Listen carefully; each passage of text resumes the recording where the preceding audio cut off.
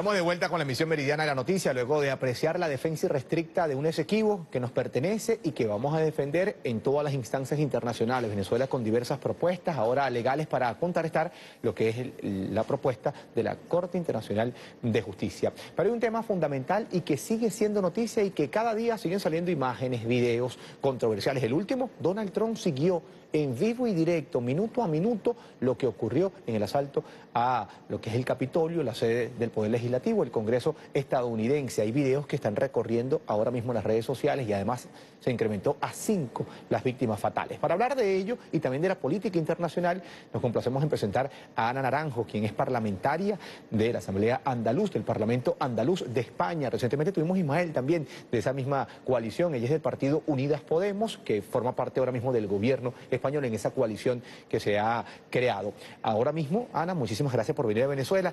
El propósito de Ana estar acá es que fue a acompañar a la Asamblea Nacional que se instaló. Cientos de parlamentarios de Latinoamérica, de África, del Medio Oriente y de Europa han venido a Venezuela. Pero antes de hablar de Venezuela, Ana, hay una conmoción internacional por lo ocurrido en el Capitolio. Me gustaría saber tu apreciación en nombre del Parlamento y, por supuesto, en nombre de la política española, porque lo que ocurrió en Estados Unidos es bastante grave. Es una línea delgada prácticamente una posible guerra civil, a pesar de que ya Donald Trump ha dicho que va a haber una transición suave, mm, mesurada, hay que ver si en los próximos 12 días tiene algún argumento negativo como el que lamentablemente esbozó para asusar a sus seguidores a ir contra el Congreso. ¿Con qué ojos lo mira España y cómo es apreciado por la política internacional lo que ocurrió en Estados Unidos? Yo creo que es muy grave lo que, lo que vimos en Estados Unidos. Un punto de inflexión debe suponer, tampoco podemos olvidar que Donald Trump ha tenido acceso al botoncito nuclear. Estamos hablando de lo que se supone que es una superpotencia mundial y nos preocupa mucho la calidad democrática de lo que está ocurriendo allí era prácticamente un golpe de Estado, una insurrección armada, decía el propio Joe Biden, que nos tiene que hacer reflexionar, porque ahora mismo hay una amenaza absoluta sobre la democracia, sobre el modelo en el que convivimos en todos los estados de la extrema derecha, esa extrema derecha que hemos visto desatada con llamadas al odio, a la violencia, pero que además viene respaldada en algunos casos por, cargos públicos, por, en este caso por el propio presidente Trump, y eso ya nos parece una absoluta barbaridad, porque rompe el marco democrático porque rompe el marco de convivencia. Lo estamos viendo en una sociedad muy polarizada en Estados Unidos. Ha aumentado en los últimos años un 40% la compra de armas en un país de por sí ya elevado. Hay una violencia desatada que está además alentada por las propias instituciones y es un peligro extremo que la extrema derecha pueda entrar en esas instituciones. Yo creo que hay un punto de inflexión en torno a eso a nivel internacional, porque no es un hecho aislado. En Estados Unidos estamos muy preocupados también en España. En el Parlamento donde yo estoy, en el Parlamento de Andalucía, que fue el primero donde entró la extrema derecha, bueno, gracias a, a, los partidos conservadores. Tenemos que decir que a cambio del apoyo para sustentarlos en el gobierno le dieron la llave de las instituciones, le abrieron la puerta a las políticas que emanan de esas instituciones y que llaman a la xenofobia, llaman al racismo. En mi país, niegan la violencia machista, por ejemplo, niegan que las mujeres suframos una violencia específica por el hecho de ser mujeres, privatizan todos los servicios, la sanidad, la educación y entran en las instituciones, no nos equivoquemos, para acabar con ellas. Lo que vimos recientemente en Washington a mí me recordaba mucho a lo que ocurría en Italia en 1922 con los desfiles de los camisas negras, los fascistas de Mussolini, me recordaba mucho a 1933 con el incendio del Reichstag en Alemania por parte del partido nazi. Y también aquí en Venezuela sabéis muy bien lo que es esa extrema derecha porque también habéis padecido el desconocimiento de los resultados electorales, porque también habéis padecido la llamada al odio, a la violencia, la polarización de la sociedad también desde mensajes que se estaban eh, proclamando desde cargos públicos o desde, a veces desde las propias instituciones. Por eso tiene que haber un punto de inflexión y por eso tiene que haber una, una reflexión profunda, porque no podemos apartarnos del diálogo, no podemos apartarnos del respeto y, por supuesto, no podemos apartarnos del marco constitucional. En ese sentido, yo creo que hay una buena noticia con la instalación de esta nueva Asamblea Nacional, porque hay una oposición que sí ha decidido respetar el diálogo, que se ha decidido respetar ese marco constitucional y que sí va a participar de esos debates que van a hacer que en Venezuela emanen políticas que favorezcan a los trabajadores, a las trabajadoras, a, los venezolanos y a las venezolanas y que ponga esos recursos a su disposición. Van a hacer políticas que permitan abrirse a la inversión extranjera o, por ejemplo, la, primera decisión de la Asamblea Nacional que se tomó por unanimidad para reivindicar el Esequibo. Claro, es una política ahora diferente a la que se vio durante cinco años, pero ya que hablas de Venezuela y que las comparaciones normalmente son tanto necesarias como odiosas, mientras Venezuela instaló su asamblea el 5 de enero, un país asediado, bloqueado, por cierto, por Estados Unidos y que no reconoce Estados Unidos, Donald Trump y la política internacional no reconoce esta asamblea, como tampoco reconoce el presidente Nicolás Maduro a pesar de su legitimidad. ¿Cómo ahora hacer ver Estados Unidos esa política de tratar de ser policía mundial hmm. y de dar lecciones de democracia, cuando hemos visto que ni siquiera dos meses después de la elección presidencial hay claridad de qué ocurrió exactamente. Y vimos imágenes como la que ocurrió en el Capitolio, a las afueras de la Casa Blanca. Claro, yo creo que después de lo que hemos visto eh, queda ya transparente que no hay ninguna legitimidad del gobierno norteamericano para dar lecciones de democracia sobre ningún otro tercer país. Yo creo que esa es la, primera noticia que podemos sacar de lo que vimos en el Capitolio. Pero es que además creo que tiene que haber un punto de inflexión. Efectivamente, las políticas eh, de la administración de Donald Trump han caducado. Esas políticas eh, internacionales que, dividían a las poblaciones, que eran supremacistas, que eran intervencionistas, que estaban basados en las relaciones de violencia y de superioridad y de dominio han quedado, han quedado frustradas, han quedado fracasadas. Por eso es necesario abrir un nuevo marco en las relaciones internacionales basado en la soberanía y en el respeto a terceros países. Por eso es importante que la Unión Europea ahora reconozca esta Asamblea Nacional, porque está dentro del marco constitucional, como el resto de procesos electorales que, que se han dado en otros países. Por eso es importante que la Unión Europea reconozca también las elecciones de 2018 que dieron el triunfo electoral al presidente Maduro con más de cuatro millones de votos de diferencia, en ese respeto a la propia soberanía de Venezuela y a sus instituciones. Yo creo que ese es el camino, eso es lo que desde Unidos Podemos le vamos a pedir a la Unión Europea y también tener una política internacional propia. Basta ya del seguidismo de la Unión Europea respecto a la política internacional que va marcando la Casa Blanca, porque hemos visto que esas políticas que emanaban de la administración Trump nos han llevado como también como Unión Europea pues a, a un fracaso político porque no han resuelto, no han resuelto la problemática que pretendían resolver. Al contrario. Ha dicho algo, algo muy importante, Ana, y tiene que ver con el desconocimiento ahora del supuesto gobierno de Juan Guaidó en Venezuela, que no fue tal nunca desde el 23 de enero, cuando se juramentó en 2019, pero que sí apoyó la Unión Europea, como tú lo dices, con esa política de seguir los pasos de la Casa Blanca. Ahora bien, ¿dónde llegó esa, esa lucidez de, por cierto, un ciudadano español que fue ministro de Exterior de España y que ahora ahora tiene un alto cargo, que es la política exterior de toda la comunidad europea. ¿Dónde eh, ha emanado esta lucidez para decir que ya ha caducado esa asamblea que llevó a Juan Guaidó un supuesto gobierno que reconoció esta comunidad y qué paso hay que dar ahora para que reconozcan esta asamblea y reconozcan al pueblo y la legitimidad venezolana. Claro, es que eso era un mal chiste, ¿no? El reconocimiento a Guaidó era un mal chiste y era muy difícil de sostener. Primero por lo que hablábamos antes, porque esa política que emanaba de la administración Trump estaba fracasada. Ellos mismos lo, lo han visto, lo han tenido que reconocer. Luego es que Guaidó ni siquiera es diputado ahora, ¿no? ¿Cómo iban a mantener esa ficción era, era muy difícil.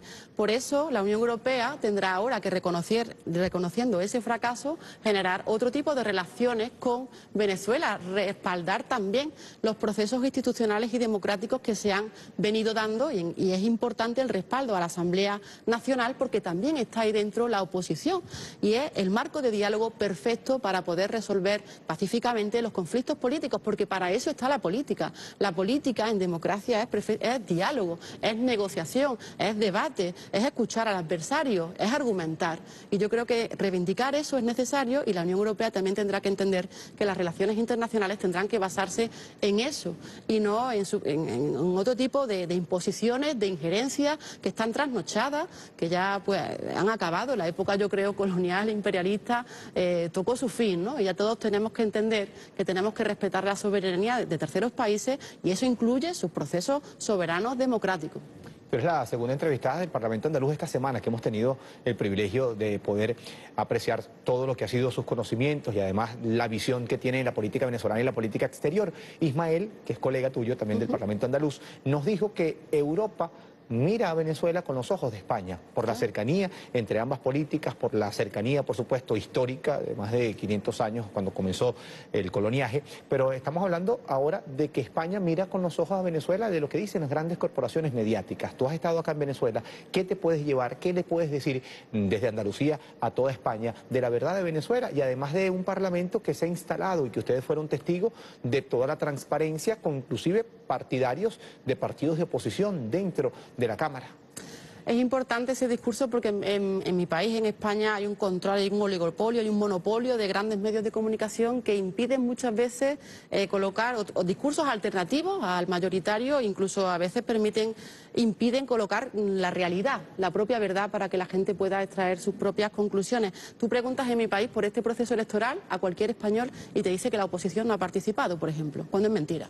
Entonces, para que esa información llegue, también estamos aquí y, cuando volvamos, pues haremos también lo posible. Había un encuentro, también hemos organizado un encuentro entre las juventudes de ambos, de mi partido y del Partido Socialista Unificado de Venezuela, precisamente para romper esa barrera mediática para que eh, los españoles y las españolas puedan acceder de primera mano a información veraz que le van a contar venezolanos y venezolanas que están implicados en la vida pública y que la conocen bien. Yo creo que poquito a poco en estas relaciones entre España y Venezuela, que son fraternales, que son hermanas, como tú decías, esa es la tarea que nos toca a los partidos, a los partidos de izquierda, ir abriendo allí un mensaje diferente, ir abriendo también allí un acceso a la información verá. España, efectivamente, como tú bien decías, siempre ha tenido un papel protagónico dentro de la Unión Europea en las relaciones que se establecían con países como Venezuela, porque tenemos vínculos eh, históricos inamovibles, ¿no? muy fuertes. Pero también es verdad que en los últimos años esa hegemonía que tenía España se ha ido perdiendo y han ido cogiéndola a otros países del norte de Europa, como los Países Bajos,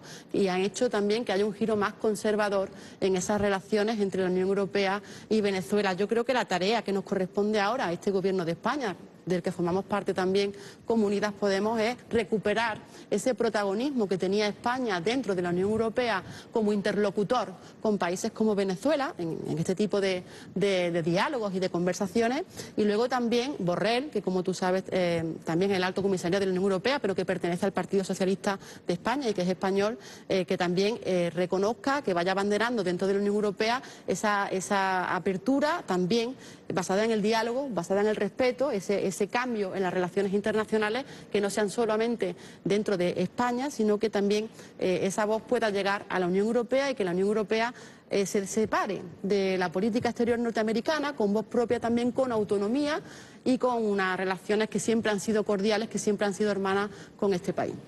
Parlamentaria, algo importante y es que se dice en Latinoamérica que independientemente gobiernen los republicanos o los demócratas, siempre es lo mismo. Difícilmente tengan otra visión desde la Casa Blanca que el hegemonismo, que la doctrina Monroe, que arreció, lamentablemente recrudeció con la presencia en los últimos cuatro años de Donald Trump. ¿Cómo ve España y cómo ve usted directamente ahora con Joe Biden ya proclamado directamente por el Congreso y a 12 días de ascender a la Casa Blanca las relaciones con Latinoamérica, las relaciones en la política exterior también desde España?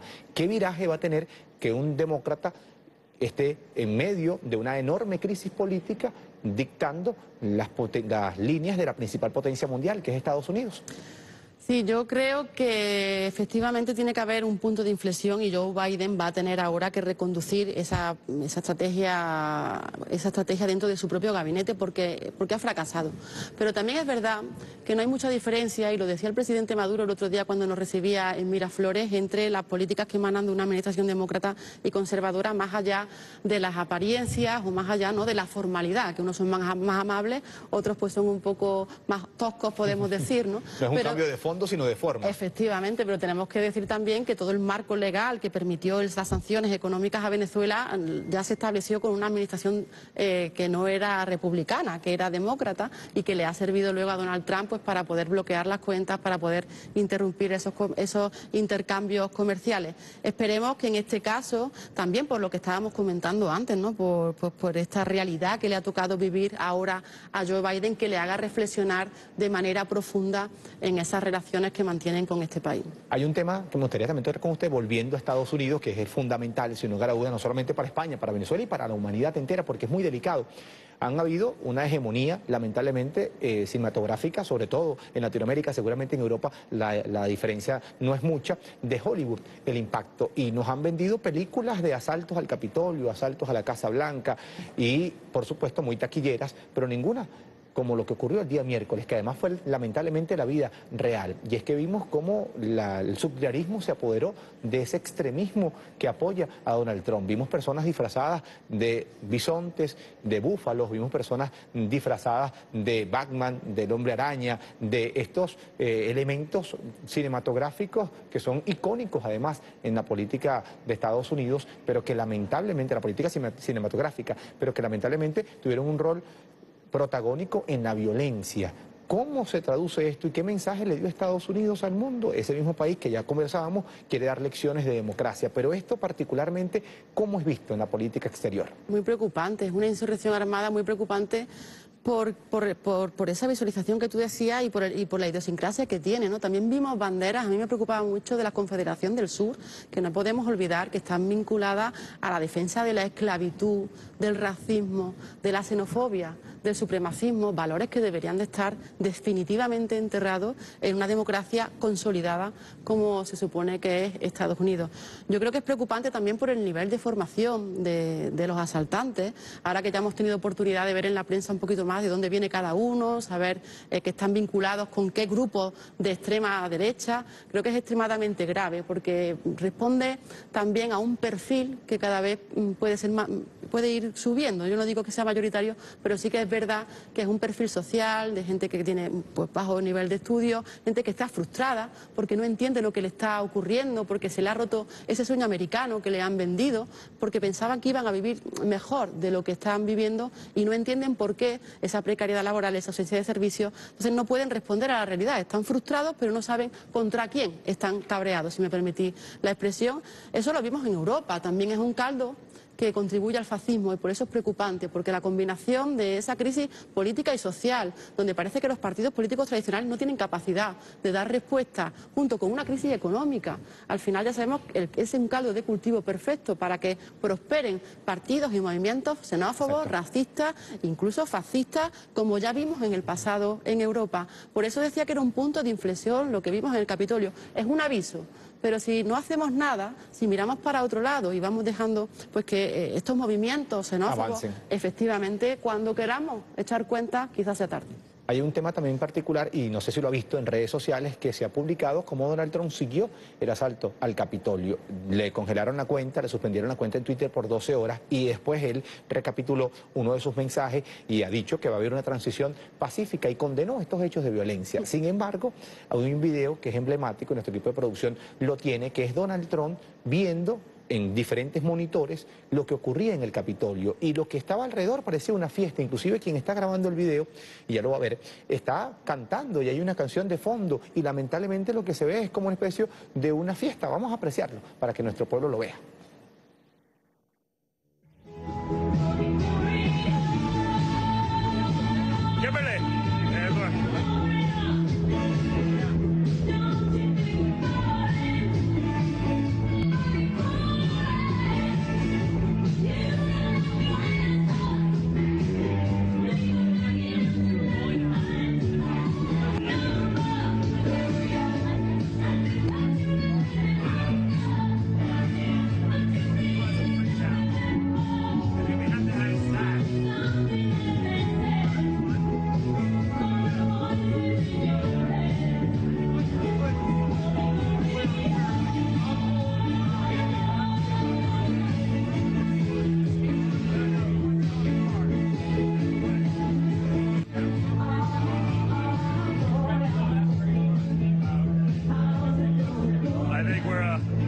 Minus a couple of seconds here, guys. So uh, check it out. Tune in. to live stream it. It's gonna be good. Shout out Mark Meadows, an actual fighter, one of the few, a real fighter. Thank you, Mark. Kimberly. Yes, have the courage to do the right thing. Fight.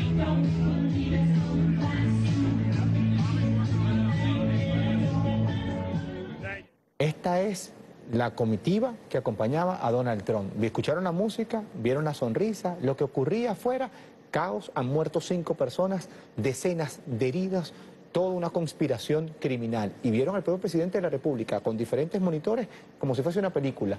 Y todos celebrando. Y quienes no pueden entender el inglés, ellos dijeron, vamos por buen camino, sigan así, vamos bien. Eso fue lo que dijo tanto la mujer como el hombre entrevistado en este video, que hasta ahora es anónimo. Seguramente ya descubrirán quién fue que lo publicó y aparte la presencia de Melania Trump y del propio presidente Donald Trump. Ana, ¿qué decir al respecto? Extremadamente grave, eh, extremadamente grave las imágenes que hemos visto y de un nivel de cinismo además del presidente Trump que ya casi no hay calificativo. Y es muy peligroso, además. Es muy peligroso que un presidente del gobierno, porque esto no fue casual, esto no fue casual, estuvieron organizando un acto público, además, donde estuvo Trump llamando a una movilización de esos partidarios que fueron los que luego asaltaron el Capitolio e interrumpieron el proceso legítimo de nombramiento de- del, del presidente futuro porque desconocían un resultado electoral. Y eso venía alentado desde el propio presidente de los Estados Unidos. Es que es gravísimo.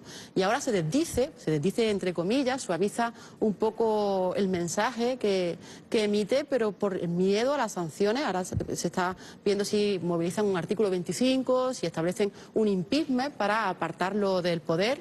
Y eso, a eso responde a la intención de Trump de volver a presentarse a otros comicios futuros porque su estrategia política, desde luego, no termina aquí. Y ese es el riesgo y ese es el peligro, porque o, la democracia, el sistema político norteamericano impide y exige responsabilidades, porque hubo muertos, como tú bien decías. Esas llamadas a la violencia que incitaba el propio presidente deben de tener responsabilidades políticas y también penales. Y lo que no puede ocurrir es que eh, ahora Trump encima utilice con esta estrategia ¿no? de desvío de atención, ahora parece que, que recoge cable, como dicen en mi país, que tire para atrás para quedar impune. Y no puede quedar impune porque ha saltado a la violencia a sus seguidores, porque ha habido víctimas y porque además estaba promoviendo un golpe de Estado que no ha triunfado, que ha fracasado. Pero la intención era esa, paralizar las instituciones. Ana, se nos ha acabado el tiempo, pero me gustaría, ya para cerrar, no hablar del tema de Estados Unidos, sino de la política exterior ahora venezolana y la política exterior de la Unión Europea, que es fundamental, que es estratégica, porque además va a comenzar una nueva era política, ha comenzado, así lo ha dicho el presidente de la República, Nicolás Maduro Moros. Ustedes tuvieron una entrevista con él después de su partic- participación en el Parlamento. ¿Cómo es posible esto? ¿Cómo ves ahora el futuro de Venezuela, que ha sido un país que ha recibido 450 mm, medidas coercitivas, que ha sido su principal industria, que ha perdido el 99% de sus recursos, pero que ha hecho frente y que sigue protegiendo al pueblo? ¿Cómo es posible ahora esas buenas relaciones con la Unión Europea? Yo creo que ese es el siguiente paso y por eso estamos aquí. Ese es el objetivo. Eh, el gobierno de, Nicolás Maduro ahora tiene mejores condiciones para restablecer esa normalidad democrática y la Unión Europea también tiene la necesidad de restablecer esas relaciones, precisamente por lo que hablábamos, por el fin de la era Trump porque abrimos una nueva etapa, porque tenemos esa Asamblea Nacional que va a ser el hilo vertebrador del futuro de Venezuela, del entendimiento político y del diálogo, y ahí la Unión Europea pues tiene que sumarse a esas políticas de cambio. Yo confío en, Borrell, yo confío también en la postura que tuvisteis aquí cerca del presidente Zapatero cuando tuvisteis ese proceso electoral que también contribuyó a ese proceso de diálogo y también tengo confianza en que el Partido Socialista pues comience también a virar esa estrategia y en relaciones internacionales respecto a Venezuela. Yo estoy segura, estoy segura de que va a haber entendimiento, yo estoy segura de que va a haber un cambio de 180 grados en esas relaciones internacionales, porque no puede ser de otra manera, porque ganamos todos y por lo que comentábamos al principio, porque la amenaza a la democracia no es el poder popular, no es el gobierno de Venezuela, no es la soberanía tampoco de Venezuela, sino que es esta extrema derecha. Por eso esas sanciones tienen que terminar, porque aquí en Venezuela ha habido un proceso electoral eh, normalizado como en cualquier otro país. No hay ningún motivo, no hay ninguna legislación que ampare esas sanciones económicas, ese bloqueo que lleváis sufriendo por demasiado tiempo y que os está impidiendo utilizar además vuestros propios recursos, recursos petroleros, además de los que tenéis una importante capital para poder paliar una situación de emergencia social mundial como tenemos ahora con esta pandemia. Yo sé que incluso habéis ofrecido a organismos internacionales para que gestionen esos recursos, para tener así la supuesta legitimidad, que no necesitáis, por cierto, de la comunidad internacional. Yo estoy segura de que tiene que haber alguna vía, seguro que hay alguna vía para descongelar esas relaciones, para restablecer el diálogo con la Unión Europea y, por qué no decirlo también, con la Administración norteamericana. Yo creo que también ahí Joe Biden va a dar un, un giro porque también está obligado a ello por la coyuntura internacional y para levantar ese bloqueo económico que está asfixiando al pueblo de Venezuela. Ana, muchísimas gracias. A vosotros siempre. Ana Naranja, parlamentaria de Andalucía. Un gran abrazo para ti, para todo el pueblo de Andalucía y todo el pueblo español de parte del pueblo venezolano. Nos unen una gran hermandad.